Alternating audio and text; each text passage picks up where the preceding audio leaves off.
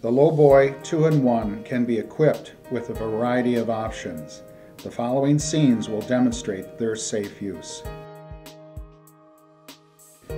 Every lowboy has a rotator with a roller platform with two casket brakes. Rollers with retracting axles can be placed in 12 positions including perpendicular to the platform which would facilitate a couch entombment. The roller platform is attached to the rotator by means of a spring-loaded quick connect. The rotator can be removed and placed in three different positions, center, end of lift, and the most popular off-center position. This position allows the operators to turn the roller platform perpendicular to the lift so that an operator can have access to the deck to prep the crypt or for entombment procedures performed perpendicular to the lift. The work center deck has key slots that secure the rotator. The head of a carriage bolt located at the bottom of the rotator is placed in the large opening of the key slot and is moved to the narrow end, trapping the head.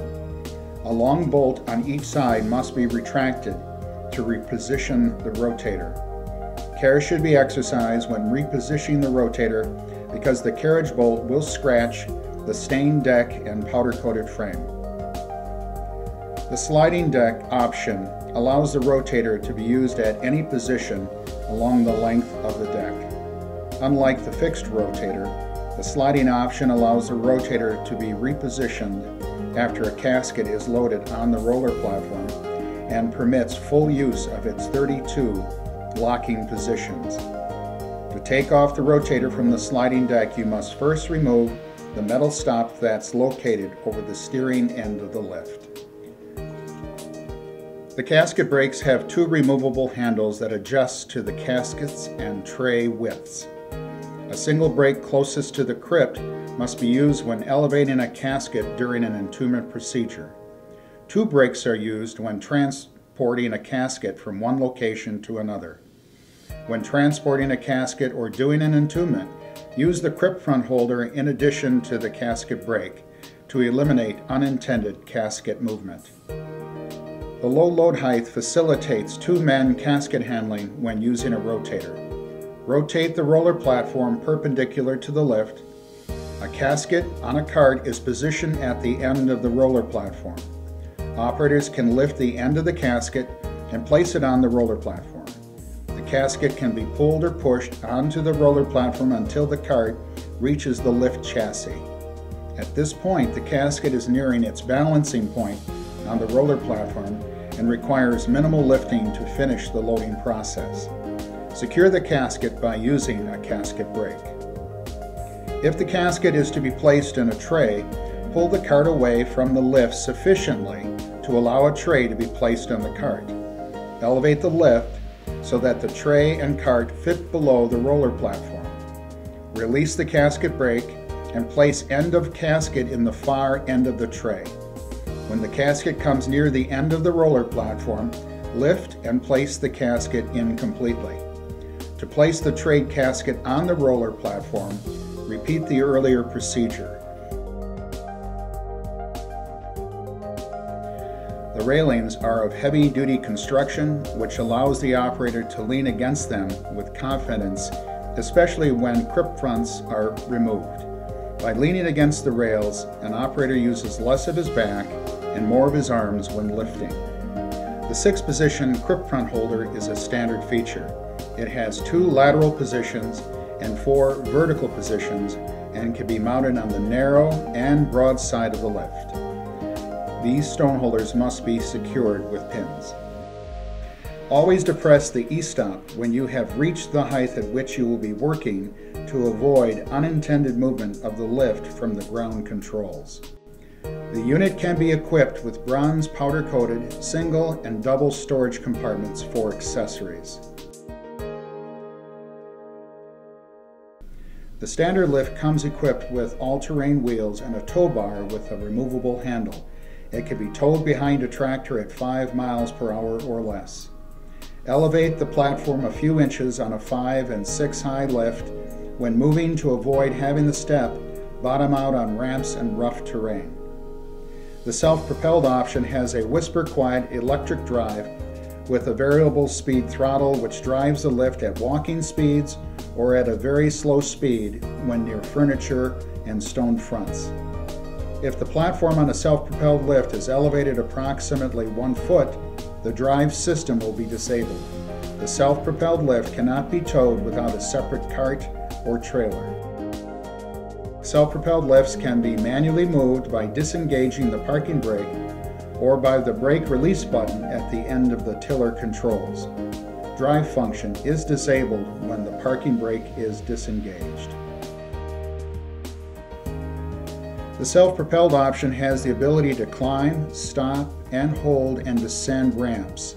Steep ramps may require assistance to climb. Operators should always remain uphill of the lift when traversing ramps. The lift should be kept in a clean and dry storage area with the key removed. The battery operated lifts come equipped with the new smart automatic chargers. They are designed to be plugged in after use. When the charger output is max, the indicator light is red. When the battery is fully charged, the charger will shut down and a green light appears. Each time the lift is used, it is important to follow the pre-start inspection procedure. Always extend and lower outriggers and install maintenance lock pins before servicing a lift with an elevated platform.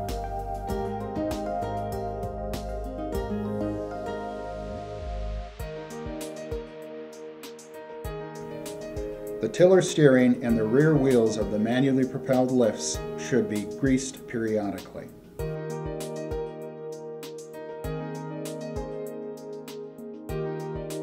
two fasteners are rotated counterclockwise to remove the cabinets.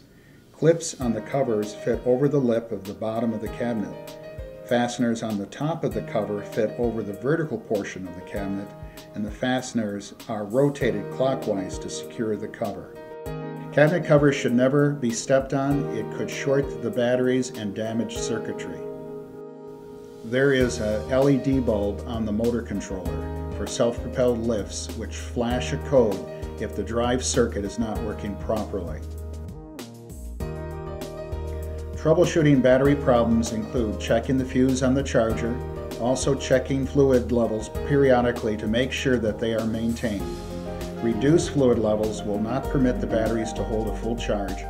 Turn off key and remove the ground or black cable before making repairs.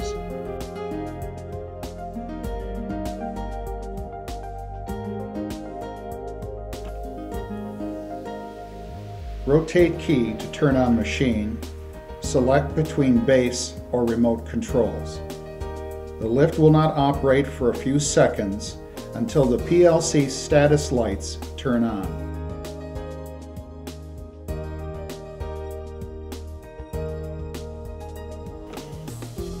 To drive, all eight outrigger input lights need to be out. The unit elevated input light needs to be on. To elevate the lift, all four outrigger down lights need to be on. If a step is on a given side, that outrigger outlight needs to be on. Each of the outriggers, step position, and lift elevated sensors have status lights as well. The battery switch disconnects the battery from all control functions. Rotate clockwise to the on position. For more information, call Forston and Associates at 1-262-338-6000 or reach us online at sales at forston.com.